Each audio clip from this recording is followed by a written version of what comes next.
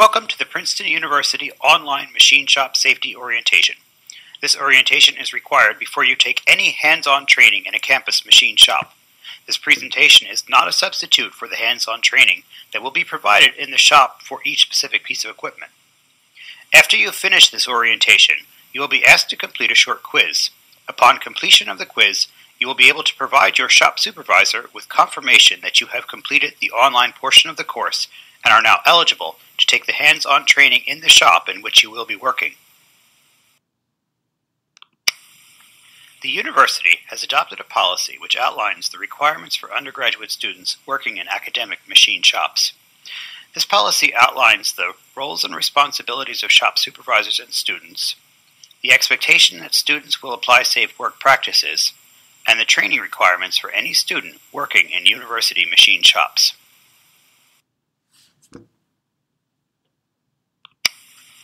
In addition to this training prerequisite, the policy outlines the requirement for undergraduate students to complete Princeton-specific training in the machine shop in which they will be working. For example, training in the physics student shop does not allow a student to work in the School of Engineering. Shop supervisors are responsible for approving access to the shop and ensuring that students are conducting work that is commensurate with their skill and training.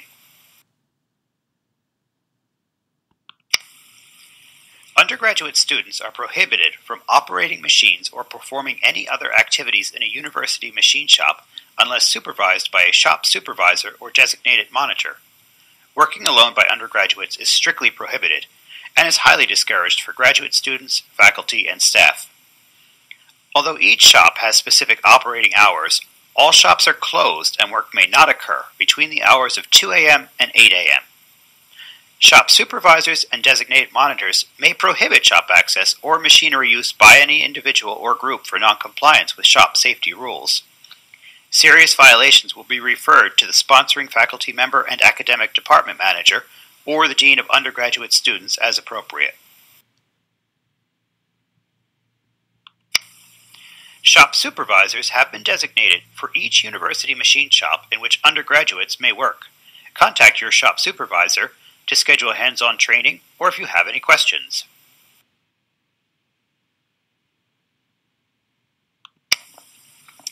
If an emergency should arise while you are working in a shop, the university's Department of Public Safety is your first point of contact. They are the university's first responders for fire, medical, and other emergencies. They are trained to administer first aid and CPR and can quickly summon outside help when needed. To report an emergency, dial 911 from any campus phone or 609 258 3333 from any cell phone. Stay on the line and be prepared to answer all questions asked by the communications officer. Non emergency inquiries can be directed to Public Safety's main number 258 1000. Do not call 911 during an emergency to try to obtain information. This number is for reporting emergencies only and must be kept available for that purpose.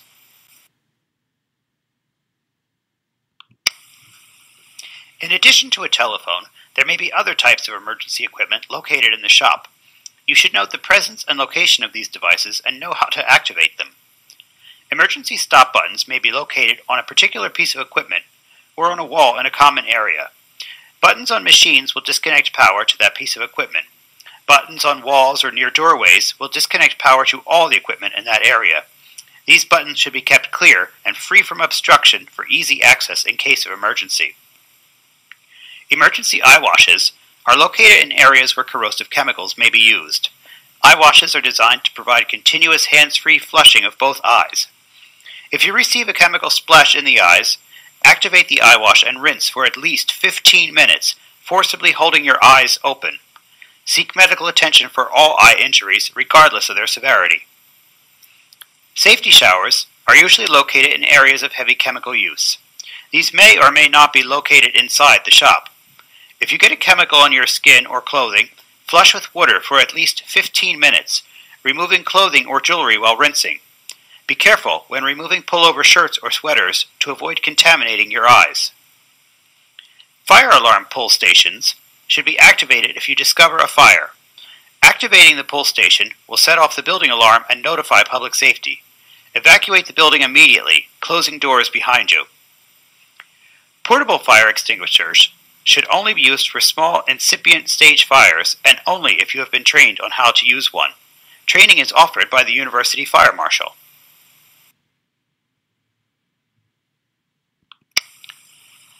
The rotating equipment in machine shops present unique hazards that require strict adherence to clothing standards and requirements for personal protective equipment. Loose hair and clothing can be caught in equipment and pull an operator into the point of operation or cause asphyxiation.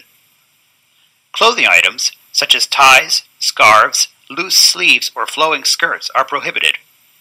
Long hair must be contained and pulled back tightly. Long beards must also be contained. Jewelry, such as rings, necklaces, bracelets, and watches, should be removed.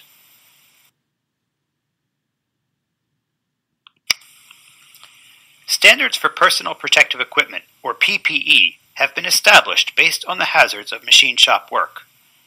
Eye protection, in the form of safety glasses or goggles, is required when equipment is in use. Closed-toed shoes are required for work in machine shops.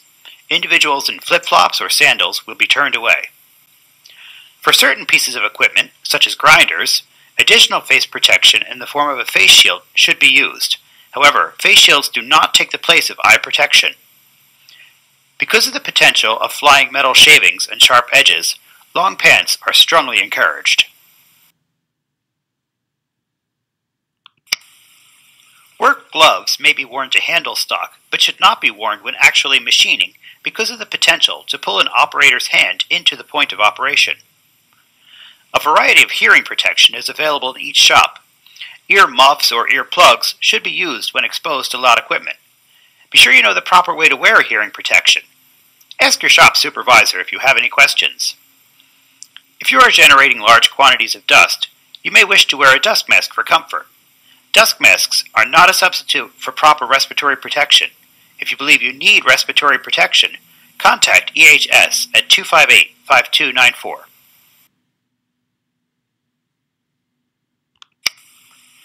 Housekeeping in machine shops means more than just keeping an area neat and clean. Poor housekeeping can present serious safety hazards. Equipment should be cleaned before and after each use to ensure a stable and clean work or cutting surface. Never use your hand to wipe off a surface. Always use a brush or a rag. Compressed air is used in most shops to power certain tools and equipment. Compressed air may be used to clean equipment and work surfaces, but only if the end nozzle pressure is less than 30 psi, and the user is wearing safety glasses. Compressed air may not be used for cleaning off yourself or your clothing under any circumstances, as this can cause serious injury. Keep aisles and exits clear, and make sure access to emergency equipment, such as emergency stop buttons, is unobstructed. Shavings or sawdust on the floor create a hazard which could result in a slip and fall. Sweep up frequently to avoid accumulation and to prevent injuries.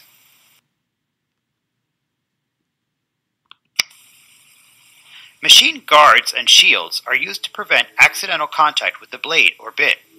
These must be kept in place during machine operation. Unauthorized removal of guards may cause you to lose your access privileges to the shop. Equipment malfunctions can lead to serious injuries. Immediately report any damaged or malfunctioning equipment to shop supervisors or monitors. The equipment must be taken out of service until it can be repaired, no matter how inconvenient. Dull or worn blades, bits, and cutters can lead to injury and poor performance.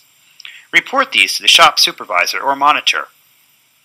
Only trained and designated shop personnel may perform equipment maintenance, such as changing blades or belts.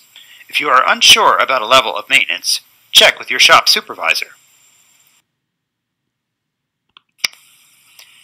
Accidents happen when machine operators get distracted.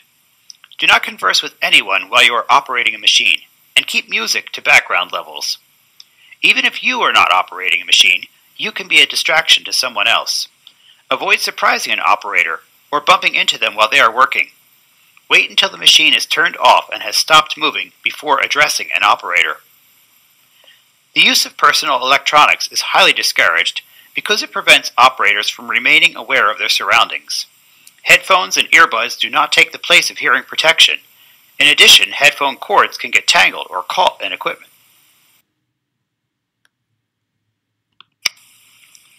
The best step you can take for success is to organize and plan your work ahead of time. Talk to your shop supervisor or project advisor as early as possible and check in frequently throughout the project. If you can manage your project effectively, you are more likely to avoid accidents and finish on time.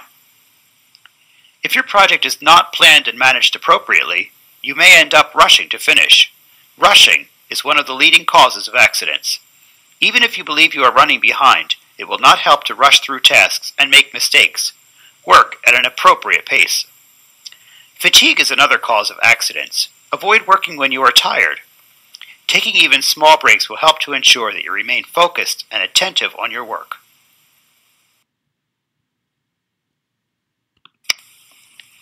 Sometimes a project requires the same cut or process over and over again.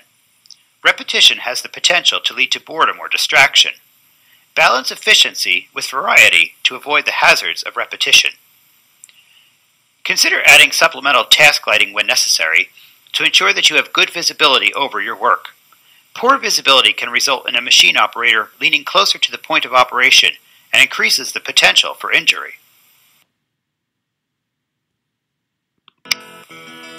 We hope you have found this introduction to machine shop work useful.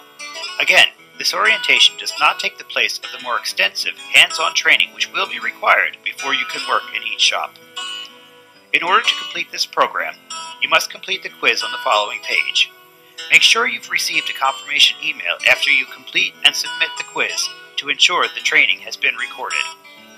If you have any questions, please contact your departmental machine shop supervisor or Kelly States at Environmental Health and Safety. We hope you have found